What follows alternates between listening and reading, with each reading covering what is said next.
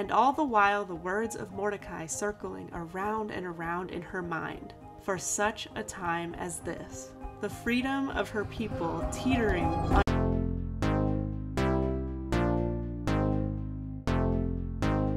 Week 5 Color Cube Bible Challenge. Woo! Let's go! Today's color. Alright, no peeking. Alright, how about you? Oh, yes! okay, I'm so stoked right now. Green is my favorite color. This is gonna be awesome. Alright, let me read them. We've got white smoke, lime, light green, Kelly green, and forest green. Yes! Oh man, I am really excited about these. And today's Bible verse. Alright, alright.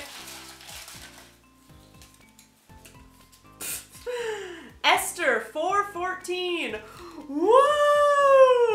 Okay, I'm actually so excited right now. What? We got greens, we got Esther 414. Let's get painting. Esther 414. For if you keep silent at this time, relief and deliverance will rise for the Jews from another place, but you and your father's house will perish. And who knows whether you have not come to the kingdom for such a time as this? I approached this painting a little differently this week, jumping in without any clear vision of what I wanted to paint. I threw on some worship music and just kept praying over the verse and letting the Lord guide my painting. I thought it would be fun to use this sponge brush and had a few ideas in mind, but none of them really felt right, they didn't quite line up with the entire context around this verse. Now, I thought mixing the colors wouldn't be so hard since they were all in the green family, but I was quickly humbled. Kelly green is officially the hardest color I've ever had to mix. but eventually we got there. I filled the canvas with these fun green spongy splotches and I realized I hated it. well, hate is a strong word. It just didn't feel right. So I went in with a 2 inch brush and just created a smoother textured background, blending all the greens together. I was really happy with this look, but now I needed it to tell a story. The more I worshipped and prayed, the more I knew I would have to face what I was avoiding, which actually was a face.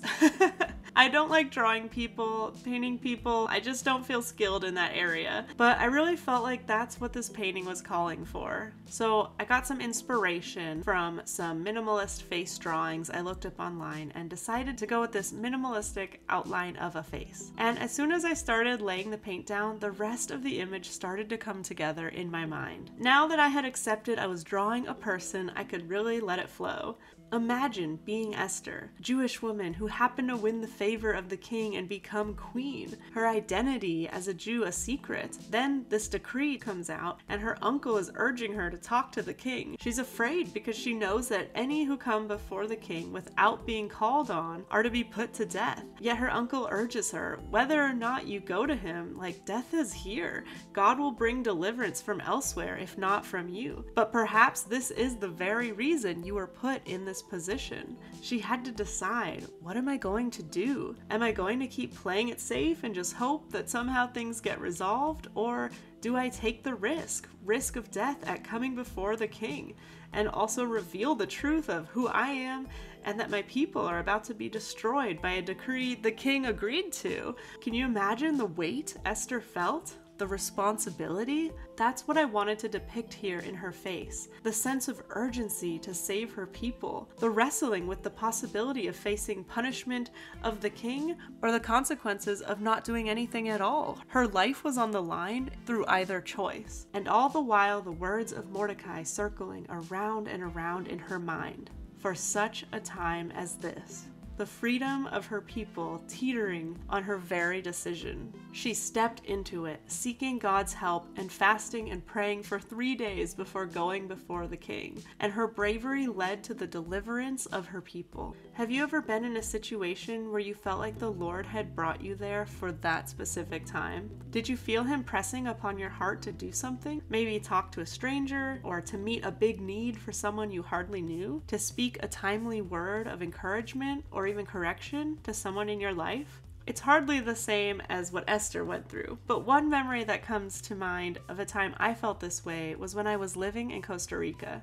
To set the stage here, I had first gone to Costa Rica for a 10 day mission trip teaching music in churches, and it was just such an incredible and impactful experience that I could feel the Lord doing something in my heart and this feeling that I was supposed to be there. When I got back, I could not shake this. I kept praying into it and felt the Lord calling me to move out there. I had no idea what I was doing, but I bought a one way ticket and through prayer and counsel, all the pieces began to come together. I ended up at this school where I was able to live with a local family and learn the language. In my mind, I thought I had the whole plan for why God was calling me out there figured out. But the things I thought I'd be getting involved in kept turning into obstacles and closed doors. So I just kept focusing on my studies.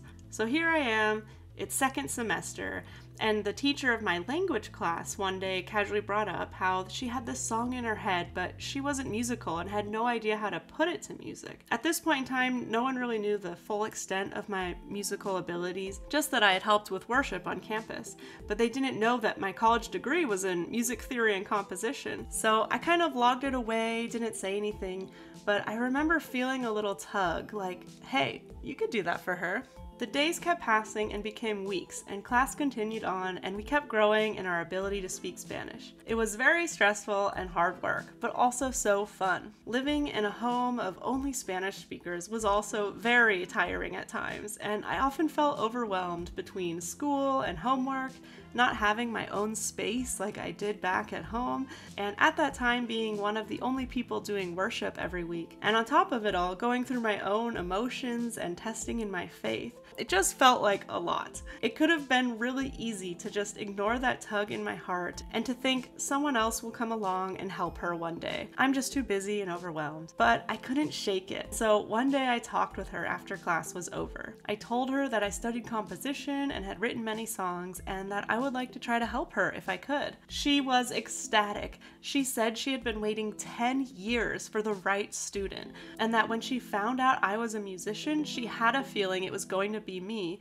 but didn't want to overstep and ask. There are several things I can think of for why God brought me to Costa Rica that weren't anything I had planned on. But this is one of the biggest. This woman had waited 10 years for someone to help her, and God brought me along, all the while my head in the clouds for some other plan, when He knew He was about to bless this woman with one of her greatest dreams. I was able to compose the music for her lyrics, and we performed it at the graduation ceremony with all the other teachers singing with her. It was such a cool and meaningful experience, and it felt like a moment where God had brought me there for such a time as this. We never know how God may be waiting to work through us us to be a blessing to someone else. Whether it's a massive deliverance, like we saw in Esther's case, or a small act of kindness that could make a world of a difference in one person's life. Esther's courage and resolve to step up to what was being asked of her reminds us that no matter what may be in front of us, if God is calling us into it, being obedient will bring forth the most beautiful victories. Obedience may feel costly and risky, but when we embrace it, it leads to freedom and opens the door for us to be a blessing to others and experience the joy of God's beautifully orchestrated timing. To see the other paintings I've done in this challenge, as well as other creative videos that help deepen your faith and relationship with God, check out these next. This has been KO here with you to create eternal perspective.